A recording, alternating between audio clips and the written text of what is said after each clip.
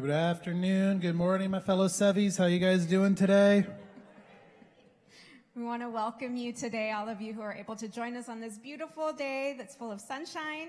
And we want to um, and welcome all of those of you who are joining us online as well. We have quite a few announcements for you, so just bear with us. Um, first of all, thank you to all of you who participated in the Sabbath to Serve last week. Um, it was a great turnout. Those of you who helped in the rain, that was amazing. Those of us who helped with the um, making sandwiches had kind of a cusher job and we even got peanut, or uh, we got chocolate chip cookies. So thank you, Michelle. There were sticky hands for sure. And I want to say everybody, I think, did a phenomenal job making sandwiches. For the record, there is a correct way to make a peanut butter and jelly sandwich. Okay? And that correct way is you spread lightly, light amounts of peanut butter on both sides of the bread, and the jelly goes in the middle. This prevents the jelly from soaking into the bread and getting your sandwich moist the more you know.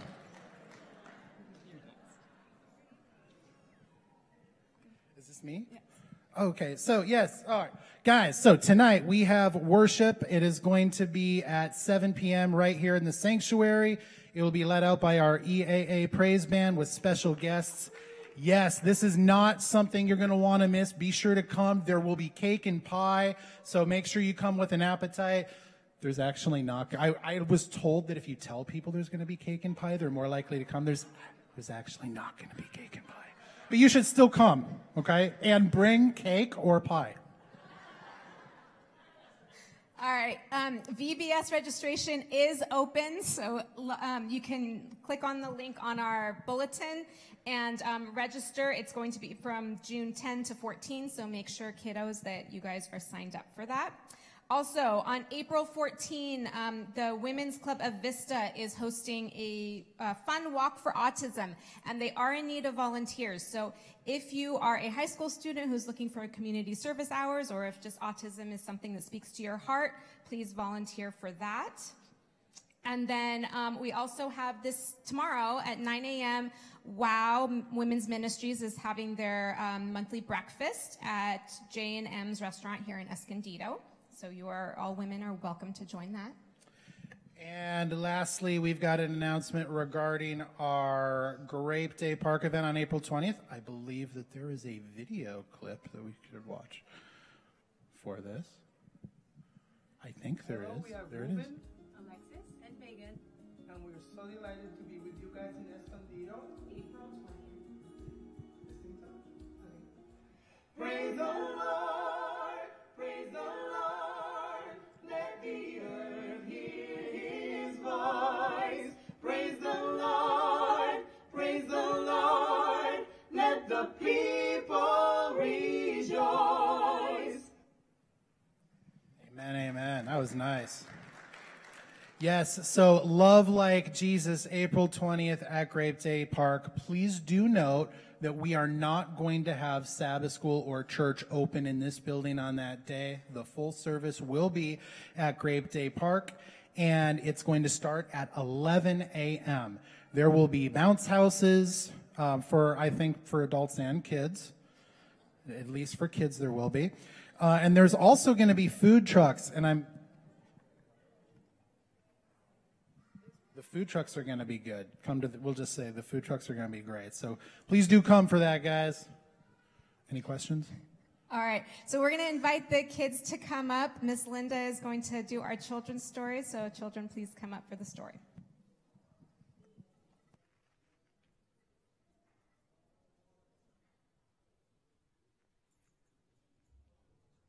All right, everybody, come on up. Come on up.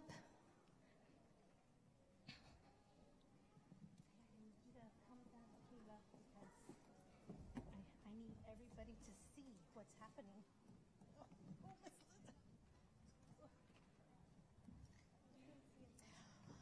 Okay, everybody can, I need everyone, do you see that camera over there? That camera has to see all of this. So I need everybody down, down, down, down, down, down, okay? And actually, if you sit back, you can see it. I can bring it up front and you guys can watch it, okay? So, I have to tell you something. Do you know what happened after Jesus died? Who knows what happened after Jesus died and he was in the tomb? What happened to Jesus? Does anyone know what happened to Jesus? Who knows? No one? Kayla, tell us. He rose from the dead. Right. He rose from the dead. But he stayed, he stayed with the disciples in Jerusalem for over a month. He was with them. And they were so happy that Jesus was there. He started teaching them different things. But then Jesus said, I have to go up into heaven to be with my Father. But I'm going to send someone else down. I'm going to send the Comforter, who is the Holy Spirit. Now, do you think the disciples were happy or sad that Jesus left? Sad. They were sad that Jesus had left. But they had to have something special. They had to have something called faith. And faith is believing in something even though you can't see it, right? So I need a volunteer. I need a volunteer. I need, oh, I, I cannot ignore Vera. Vera, come over here. You're going to be my volunteer today. Okay, so right here, I have a container with water, and I have a stirring stick, right? I have a glass stirring stick. Vera, I would like you to put the stick in the water. Good job. Okay. Now, can everybody see the stick? You guys can see the stick, right? Even though it's in water, you can still see the stick that's all the way down here, right? Yeah? Okay. So, pretty easy, right? Yes. Yeah. So now, Vera, I want you to take this stick and I want you to put it in this container, okay? This container does not have water. This container has oil. Yeah, it has oil. Stick it in all the way. Can you guys see the stick? Can you see it? No. No. It disappeared. It disappeared in the oil. Wait a minute. But is the stick still there? How do you know that? It's not, I can't see it. Can you see it? No. But you know that the stick is still there. That's kind of like what faith is. We know as Christians that Jesus is still with us even though we can't see him. And you know what? Vera, I'm going to ask you to do the last one. So I have on the top is oil and on the bottom is water. Okay, Vera, what do you think is going to happen? I think it's gonna. Is it going to disappear? No. It's not going to disappear. That's what Vera says. Go ahead, put it in. Whoa. What happened to the stick? It disappeared right there, but it didn't appear right there. That's right. It, it half disappeared.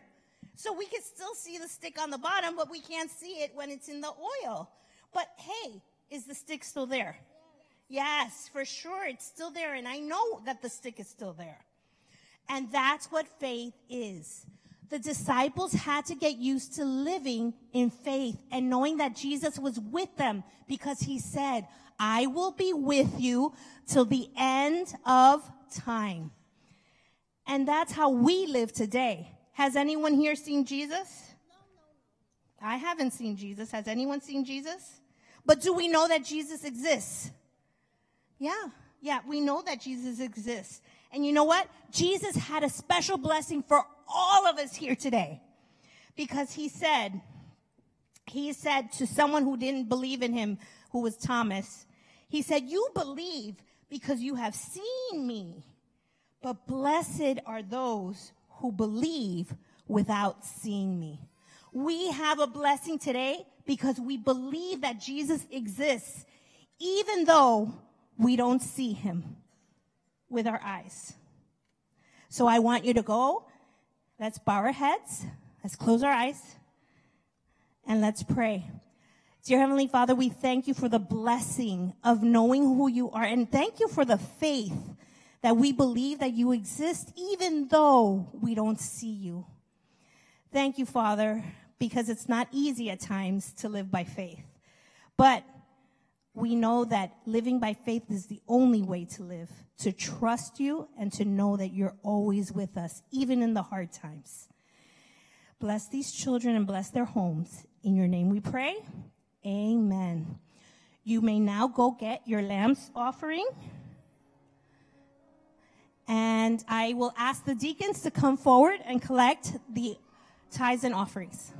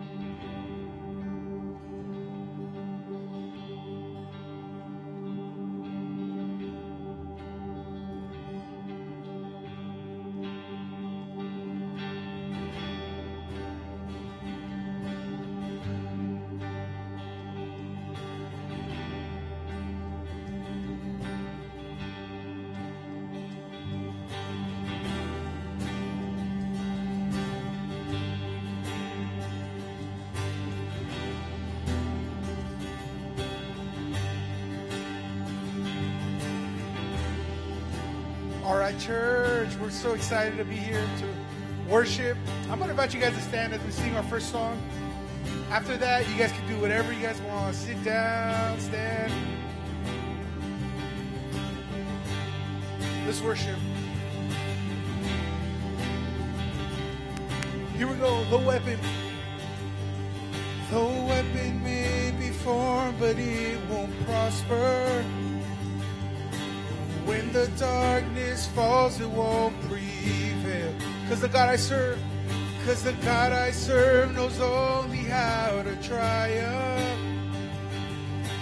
My God will never fail. My God. My God will never fail. I'm gonna see. I'm gonna see a victory. I'm gonna see a victory. For the battle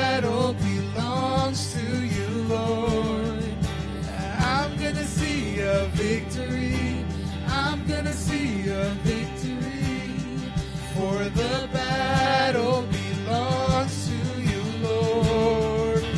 Oh.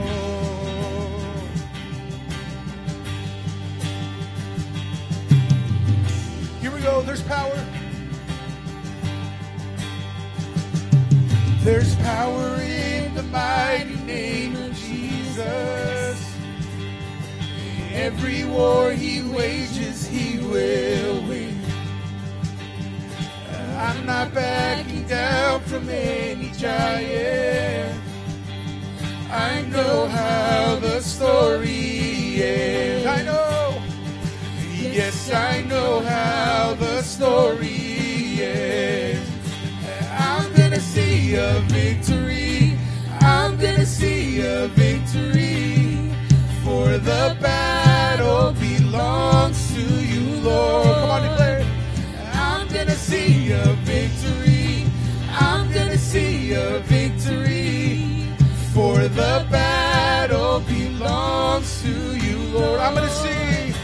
I'm gonna see a victory. I'm gonna see a victory.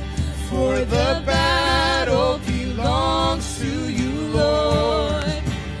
I'm gonna see a victory. I'm gonna see a victory. For the battle belongs to you, Lord. You take what the enemy meant for evil and you turn it for good. You turn it for good. Come on, declare church. You take. You take what the enemy meant for evil and you turn it for good. You turn it for good. Come on, you take. You take what the enemy meant for evil and you turn it for good. You turn it for good. You take.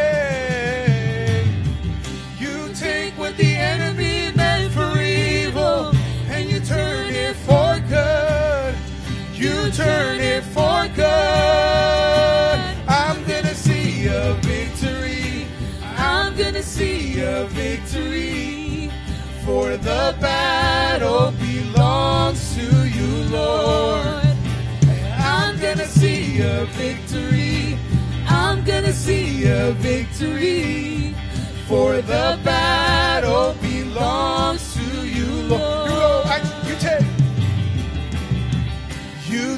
what the enemy meant for evil and you turn it for good.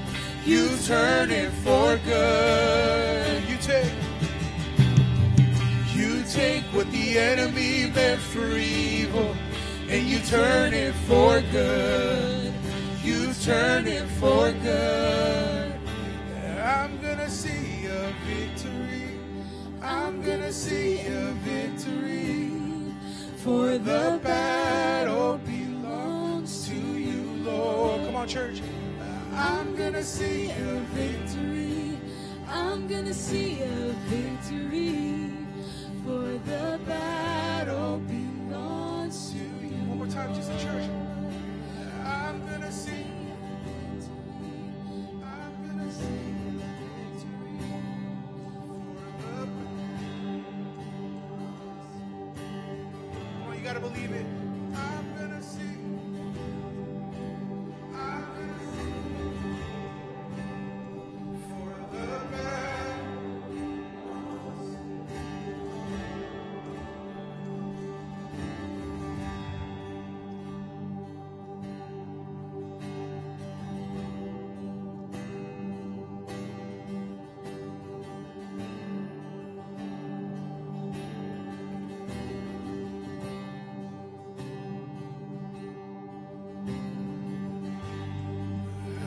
So hard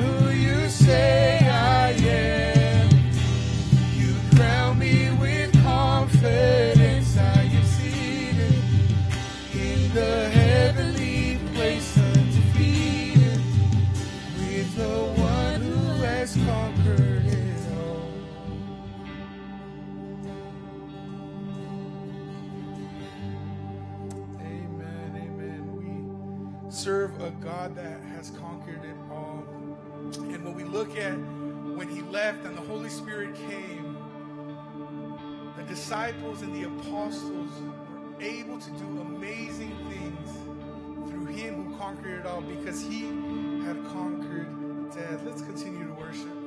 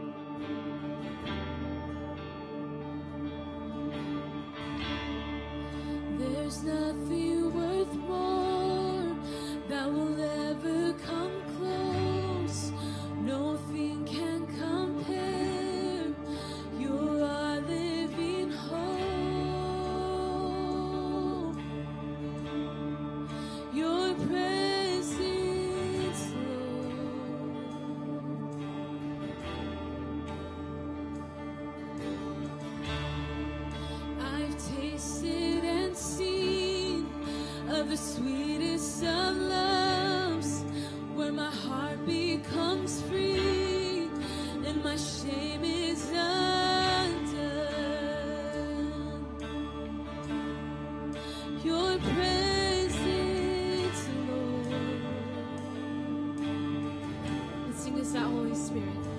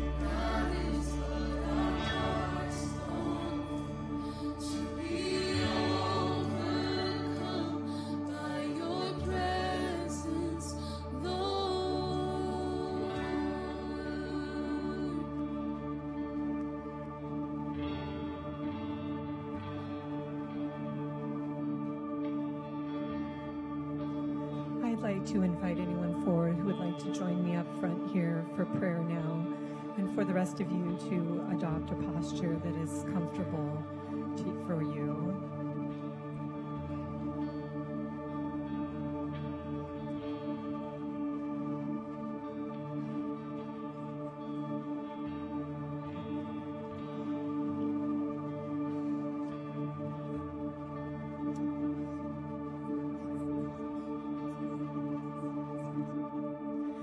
Let's all bow our heads.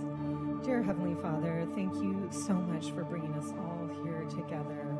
We are members of our, your family. You are our Father.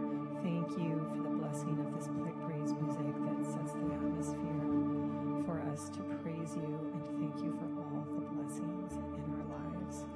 We just want to pray, Lord, for your forgiveness for our sins. We God that forgives us each and every single day. And just be with us. Help us to follow more closely in your path every day. And thank you for your redemption and forgiveness of sins. Lord, we just pray. We think of those that we have lost, the church family members that we have lost over the past weeks and months. We're hurting. We miss them. Please be close to their families. Bring them peace and comfort, and let us live daily promise of your second coming. And Lord, we also think of those who are sick. We think of uh, Francisco and his recent diagnosis. Please be with him, be with his medical teams, be with his family, and call a special blessing on him and everyone here, Lord. Whether we're sick, whether we're sick mentally, physically, spiritually, be with us. Bring us, bring us healing. Lord, we just think of our future plans. Some of us have big changes in the future, and we need your help. So, so just be with us. Thank you for being with all of us in the future. And Lord, just be with Jenell as she speaks through you. She's going to be a wonderful um, voice for your message. And we love you so much.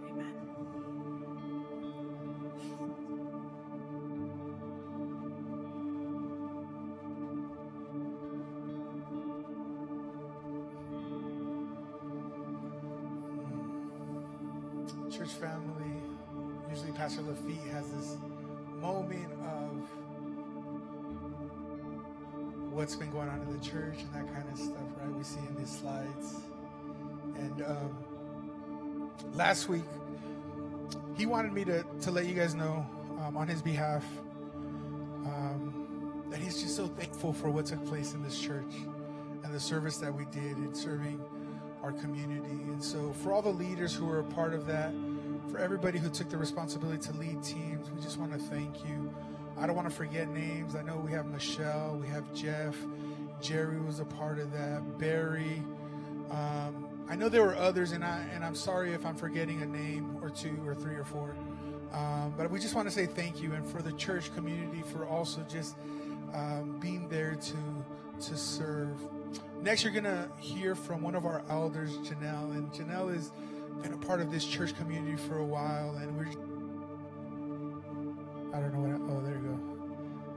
We're just so excited to have you here, Jenell, and for speaking. So, for those of you who are visiting us, Jenell is one of our elders, and it's been one of our elders for a long time. And so, we're just blessed to have her speak to us. I'm going to welcome you up, Jenell, and I, I know that Estes is coming as well.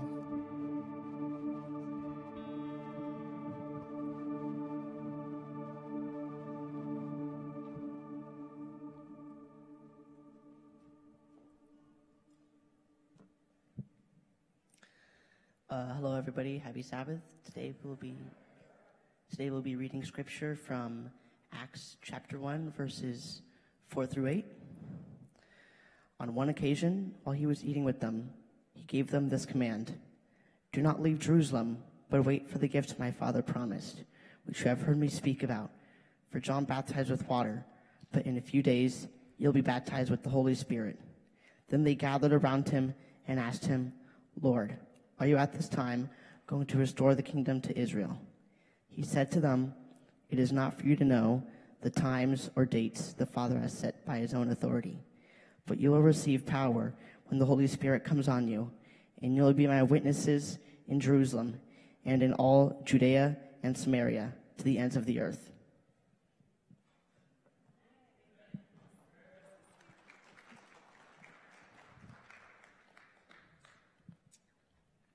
Now you can take it with you.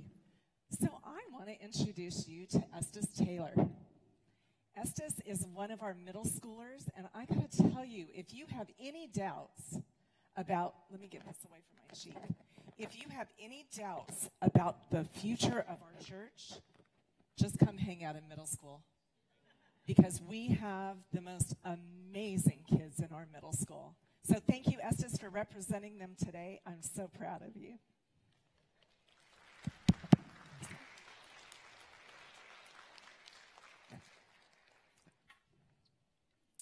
Good morning, church. This is really going to drive me crazy. Maybe I will, will do a. Hold on, David. Okay.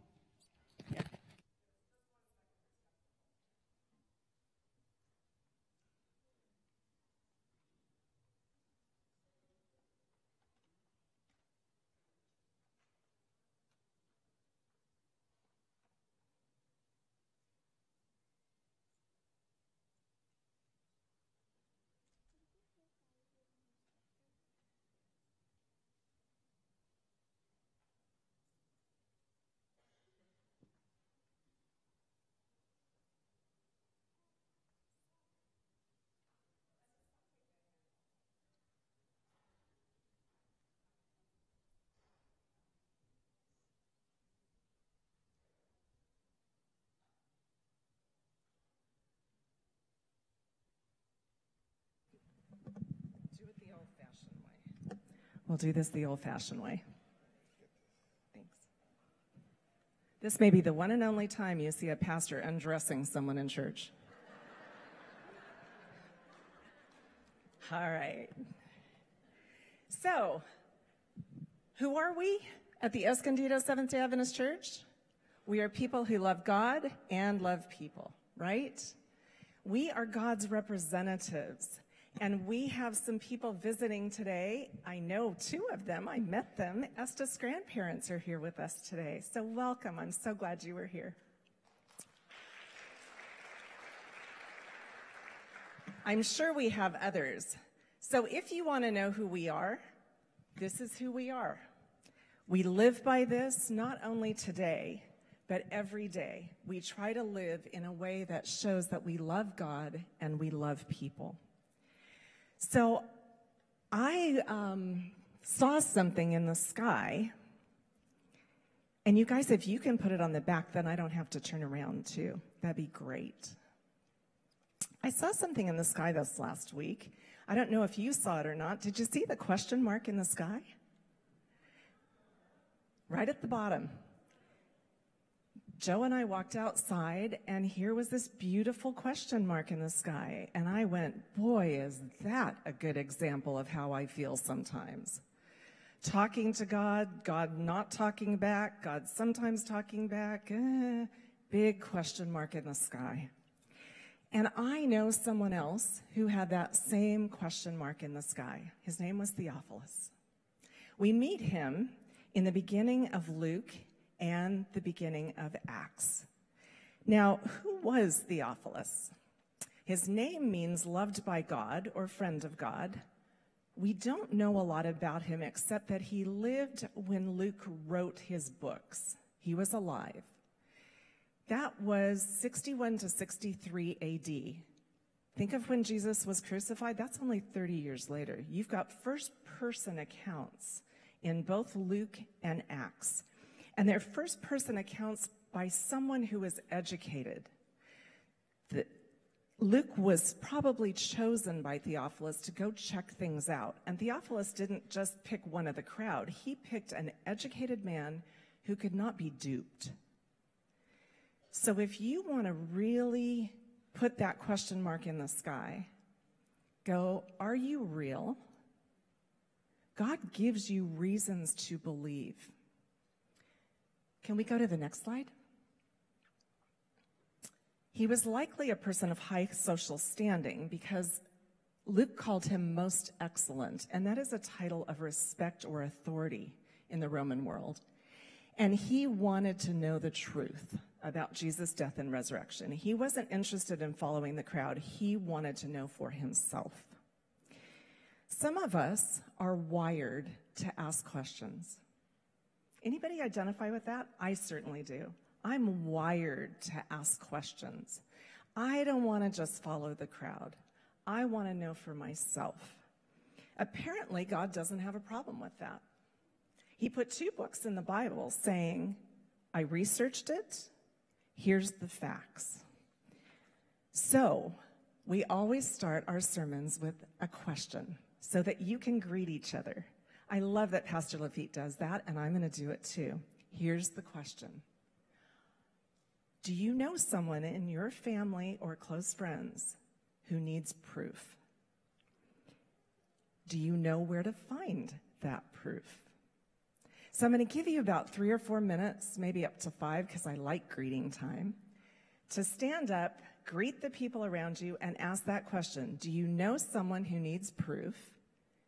To believe, and do you know where to find that proof? So go ahead and visit a bit.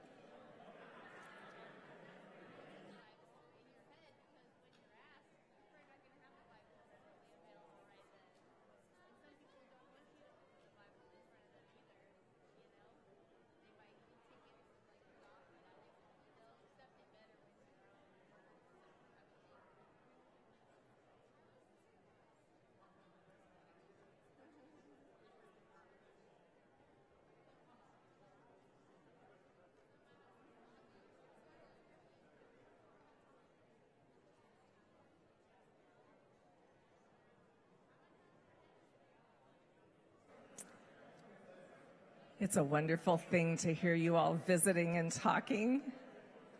Such a beautiful sound. So, I have found through my life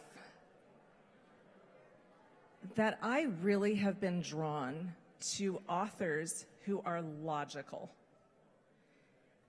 Many people, me included, find our faith is strengthened by studying Christian apologetics. We have a slide to go with this. Christian apologetics has nothing to do with apologizing. It is a intellectual defense of the truth of Christianity. And I put some of the things that have had great meaning to me. The book Mere Christianity by C.S. Lewis is one of the most logical things I've ever read. If we are nothing but crawling out of muck, then why have morals and values? Where did those come from? Where did conscience come from? Where did it? I love the way C.S. Lewis writes. Then there is Hugh Ross. Now, I'll be the first to admit I didn't make it through Creator and the Cosmos. It is physics on a university level. Joe did, however. And what I gleaned from that is that as an astrophysicist, Hugh Ross has logical reasons, um, mathematical reasons, why the universe could not be by chance. Then there's person of interest. I just discovered this, I think it was written about a year ago, year or two ago. This is a cold case detective who said, if I didn't have a body and I had basically a crime scene, how could I put together what really happened? And he convinced himself by using cold case methods that Jesus did live, did die, and was resurrected. And then there's seeking Allah finding Jesus. Looking for something besides Jesus and over and over and over being directed to the reality of who Jesus is. These are books that I think you might really enjoy if you're like me and need proof. Then there's also a website, Women in Apologetics, which I just had to throw in that there are women doing this too. I also want to acknowledge that many of the concepts that I'm going to be speaking about today came from years and years of reading Philip Yancey and of listening just recently in the last year and a half to John Mark Comer. These, again, are people who don't want you to believe just because the crowd believes.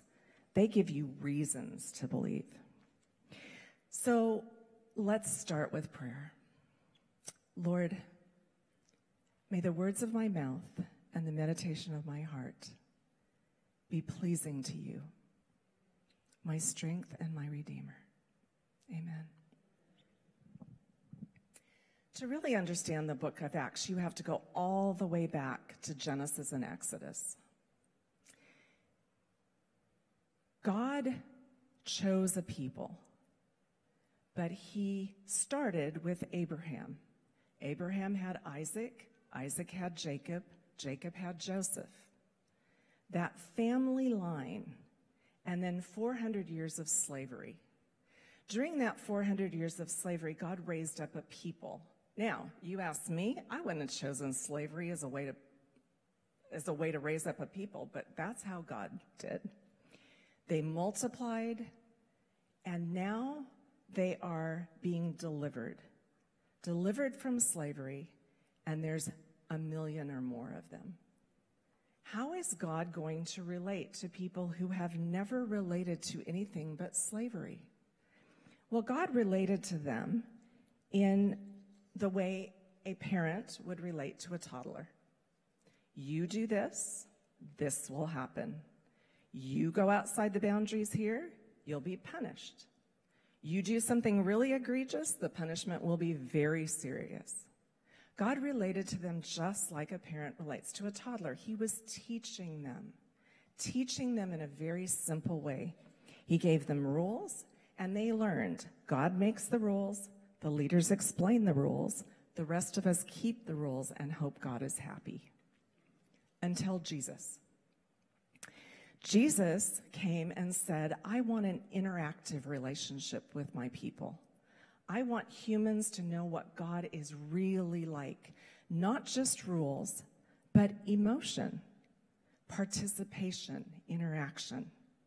Jesus was present and he interacted directly with humans.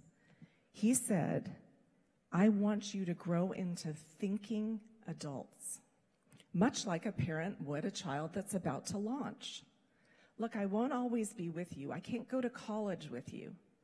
But let me review with you. You really don't want to drive like a maniac up the hill to PUC, especially when it's foggy. Use common sense. Think. Think.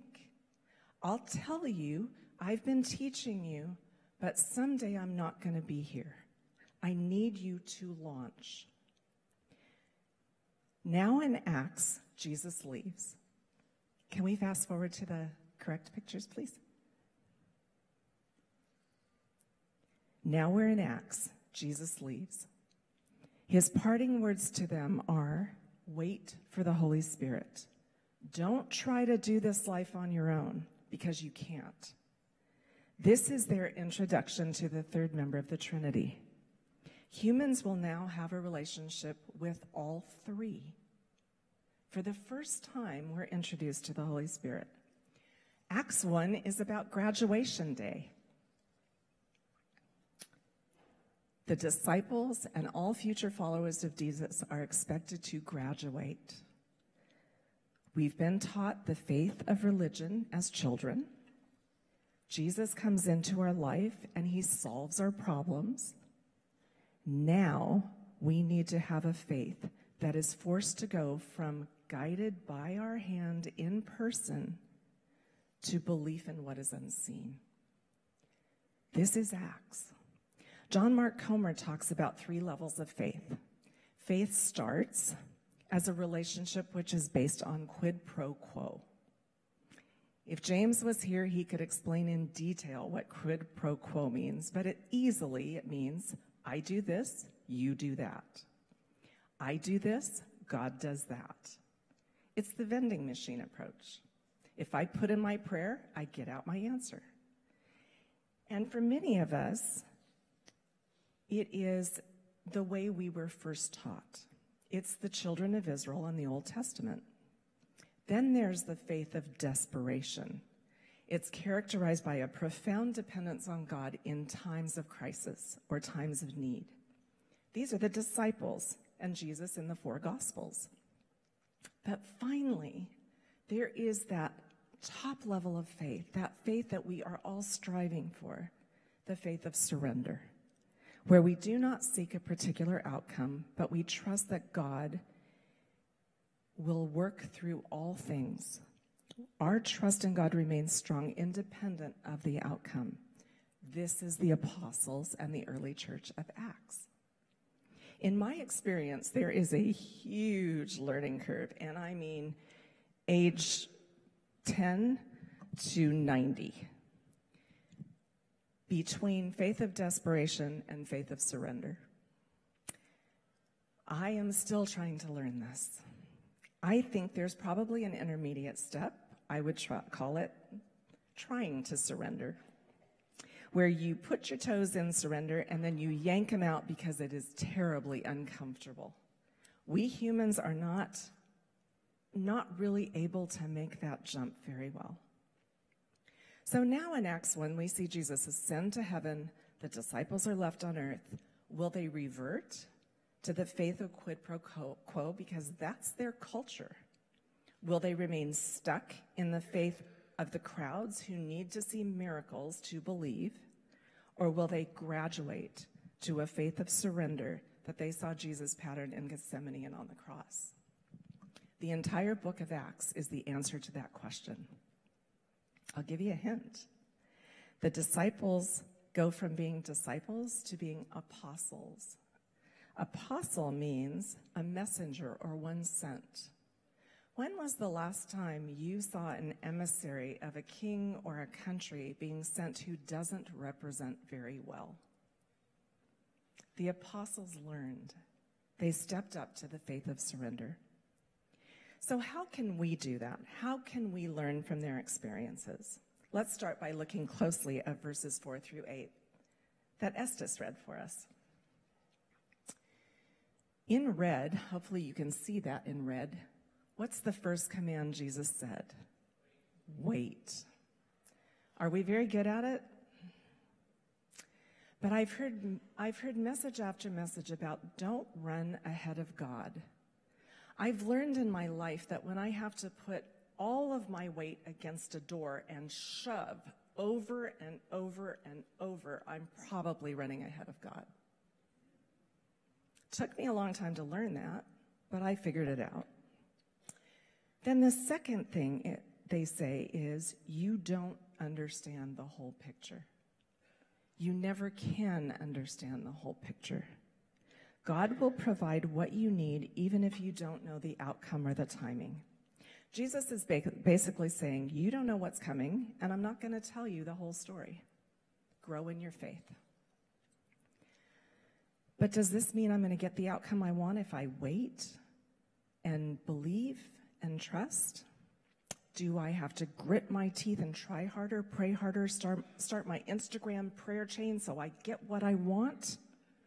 Do I have to do more? What if I don't like where the Holy Spirit is leading me? Those are fair questions.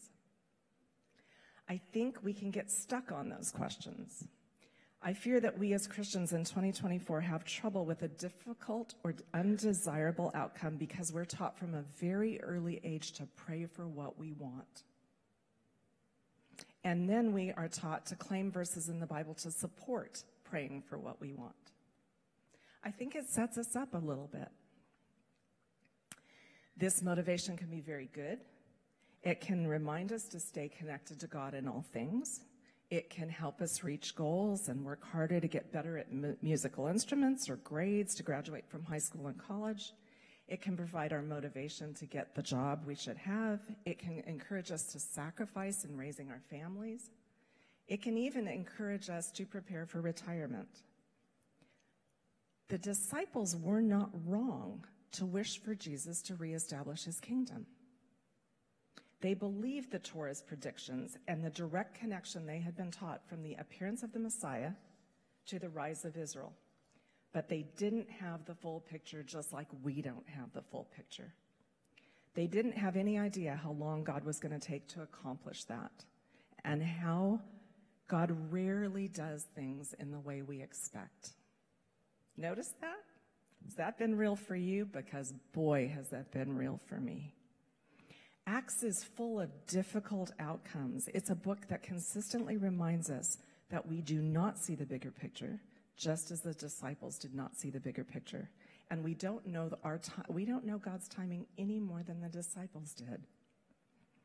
The Holy Spirit, beyond that, will often lead us into things that are much more difficult than we expect. Let that sink in for a minute. The Holy Spirit will often lead us into things that are much more difficult than we expect. A lot of us have subtly been taught that God, when God is leading, things will go more smoothly, will be healthier, the outcomes will be nicer. But Acts turns this Adventist version of the prosperity gospel on its head. Acts clearly shows that being a follower of Jesus is not a way to avoid difficulty or get the life that we want. Life with Jesus is a journey of faith that requires us to accept that no matter what happens, whether we understand it or not, whether we like it or not, God is with us and we are loved. It requires that we accept that the Holy Spirit may lead us into difficulty rather than helping us avoid it. Are your teeth on edge yet? They're a little on edge for me preaching this, but it's true. That's what Acts says. The reality of being an all in follower of Jesus means wait. You won't know how long. You will not understand the whole picture, and probably it will be very little like what you expect. But God will provide for you and love you through all of the ups and downs. Following by faith will rarely go the way you expect. You may even feel very alone at times. And this is, this is a struggle for many of us. The slide from Wesley Allen, the professor at SMU, is the one we'd like now. We're past that. There we go. Wesley Allen Jr. says Although the story of Pentecost, with the gift of the Holy Spirit and the birth of the church, gives an answer to the question of Christ's absence, it is a partial answer only. The Christ who was physically raised from the dead is no longer physically present with his followers. All Christians struggle with the, with the experience, sorry. All Christians struggle with the experience of divine presence and absence, between divine revelation on one hand and divine silence on the other. The experience and theology of God as present and absent is a paradox that must be kept in tension. Think of the story of Joseph in Genesis. As a teen, Joseph has a dream of what the future will look like, what his future will look like.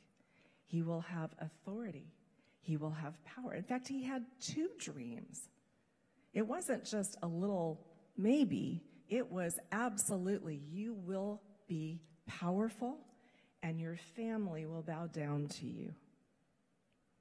22 years later, 22 years later,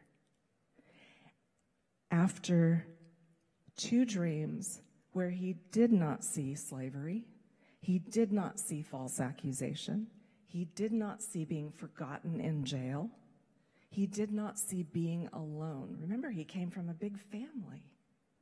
He didn't see any of that, he only saw the outcome. Well, during those 22 years, he had no Bible. Bible didn't exist then. He had no believers around him. He had only God and him. And he clung to God because there was literally nothing else to hold on to. 22 years later, he rises to power. The disciples also had their own journeys of highs and lows, times of community, times of being alone, waiting for the fulfillment of their dream. Christian tradition says that the disciples traveled, suffered, and died as martyrs. Think of how far these guys traveled, how much they believed in what they were saying. They went as far as modern day Russia and Spain. That's over 3,600 miles from here, from San Diego, to the North Pole. They went to India and Ethiopia. That's 2,600 miles, San Diego to Miami. They had a story to tell. And every one of them, but John, died a martyr's death for their faith, as did many in the early church. They graduated to a faith that didn't know what was coming, didn't know how their life would play out or when it would end, but they chose to trust God through it all. Acts is not about giving you a life of ease and comfort. Think about it though. Because of what those disciples did and how far they traveled and the story they told, we're sitting here today. Without what they went through, we would not be here.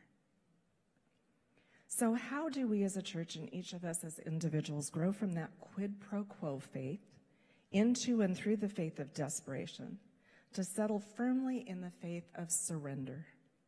Instead of gritting our teeth, trying to avoid difficulty, what if we looked at the way at difficulty the way the apostles did?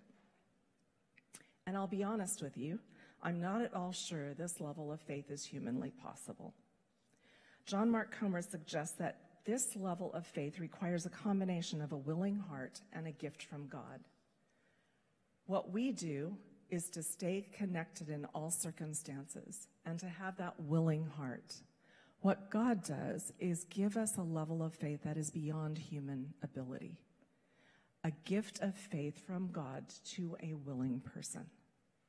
I believe it also requires a complete reframe of how we view difficulty and how we respond to it. The apostles did not view difficulty as something to avoid. They viewed it as something the Holy Spirit might lead them into, and they responded with different things. Sometimes they sang, Sometimes they talked, sometimes they just waited. I've been reading a book, Facing the Mountain. Um, if some of you have read Boys in the Boat, this is the same author. And this book is about the forgotten heroes of World War II, the Japanese 442nd Division, Japanese American 40, 442nd Division. While many of their families were in internment camps, and if you have driven by Manzanar and some of these others, they're miserable places. While many of their families were in internment camps, these young men of the 442nd were doing amazing things for the United States that they loved.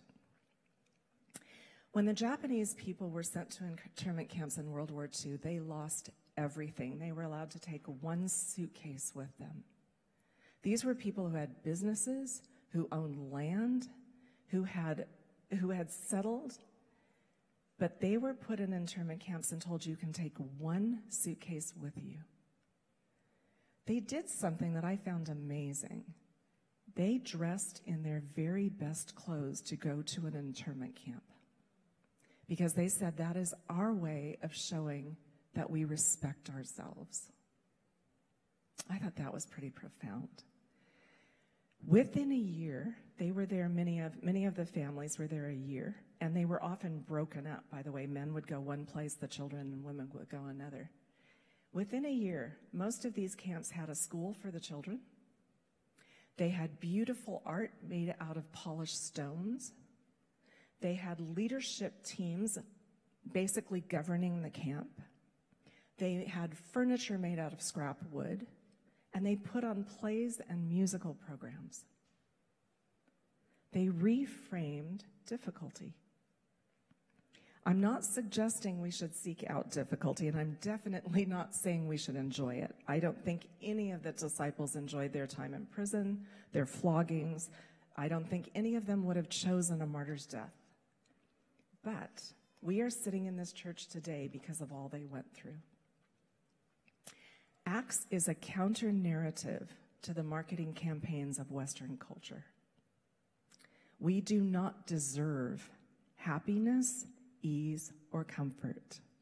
It is God's rebuttal to the idea that upward mobility is our right.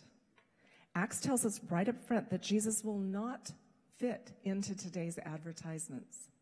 I love this when I found it because it's so true about anything, whether it's school, whether it's friends. Uh, can we go back to the last slide, please? Yeah, thanks. Whether it's school, whether it's friends, any of that, it's so circuitous how you get there. What if we reject the concept that we deserve? What if instead we reframe against culture's model and say, let's focus on our relationship with Jesus so strongly that no matter what happens, easy or difficult, we know for certain it's part of a big picture. This requires us waiting. I long for that level of faith. Do I have it yet? Not really. To take away the idea that I deserve to look good, that I deserve to walk in high heels. Many of you know I wasn't walking in high heels for two years, and now I'm back in them. It's so easy for us to think about what we deserve. In the midst of our family struggle with depression and health issues, the unpredictable things that are out of our control with our company, in 30 years of being an executive, I have never encountered some of the crazy, nuts things that have happened to our company. During all that, I wondered, what is God doing? I didn't doubt God's love for me, and I didn't doubt my salvation or Jesus' sacrifice on the cross, but I wondered, what is going on? And does it have to be this difficult? I've actually looked up in the sky and gone, does it have to be this hard? And I will surely never know the answer to that question. I wonder what the purpose is for all the suffering I see around me, the number of widows in this church, the number of people who are dealing with cancers and other serious illnesses. What is the purpose of that? I don't know. God did not answer those questions. God just says, Trust me. I sent the Holy Spirit to be with you through all things. The book of Acts is our university level course in the fact that the Holy Spirit is not going to conform to my wants. The Holy Spirit may lead me into difficulty, may lead you into difficulty, and we will simply not understand why. Acts invites us to grow up, graduate to a new level of faith, trust even when the outcome and the timing aren't clear. There is a bigger picture, even though you can't see it.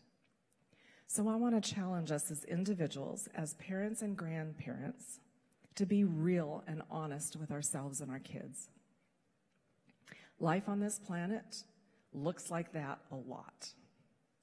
We're in a war zone between good and evil. Pain and difficulty are guaranteed.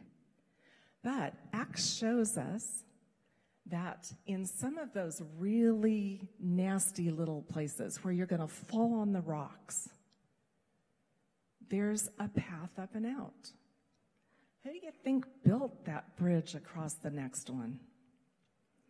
Who do you think provided the boat to get across the next one? You're not alone. It may not be what you want or expect, but you are not alone. Acts shows us that God can use both joy and pain, easy time or difficult time, for his purposes. I do not fully understand how people develop that deepest level of faith of surrender. I don't know how people develop surrender when they're facing death death of a dream, death of a relationship, death of functionality, death of someone they love, or even their own death in a really miserable way.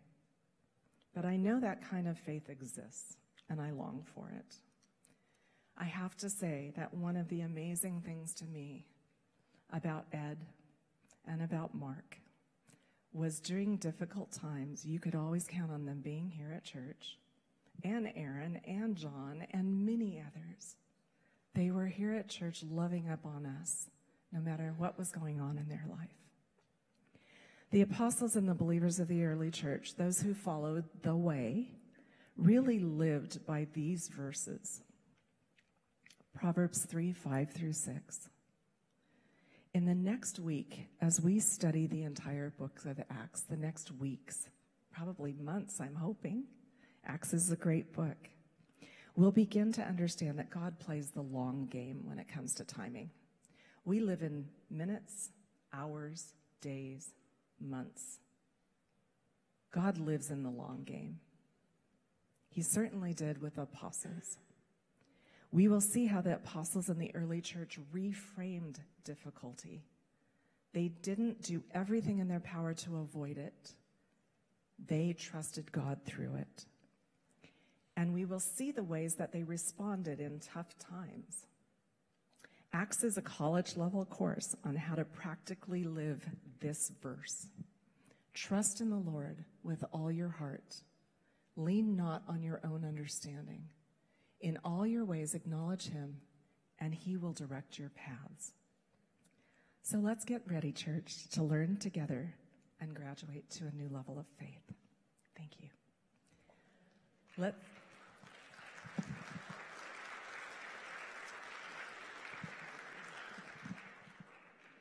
I just want to say to those of you who prayed for me, I felt the Holy Spirit through every portion of preparing this. And I am glad that it touched your heart because the Holy Spirit prepared you to hear this. Let's close with prayer. And as soon as we're done with prayer, I just want to remind you don't forget to be Jesus' hands and feet to those who need food. We have the, the bags outside. Father God, we would love to be led through the good times and avoid the bad times. But for whatever reason, you've chosen not to do that with your followers. You have chosen to let us go through times where we have to be completely, fully dependent on you. You've chosen to put us through times where you are silent and we wonder where you are. You have chosen to make us grow in faith. And we ask, Lord, we will provide the willing heart. Please provide a faith that no human can find. We're not capable. We need you. We thank you and praise you that if we have the desire to grow in our faith, you will reward us by giving us a greater level of faith. I am so grateful to pray that prayer, Lord, and I thank you for what you are doing here today and in the future of this church. Thank you for giving us young people. I'm not sure I love that term. Let me just say our middle schoolers and our high schoolers who are well on their way to being adults, independent adults. Thank you for giving us kids who love to think, who love to ask hard questions, who love to know more. Thank you, God. What a gift to this church. We love you. We praise you and worship you. We thank you that you hear us, love us, and have saved us. Amen.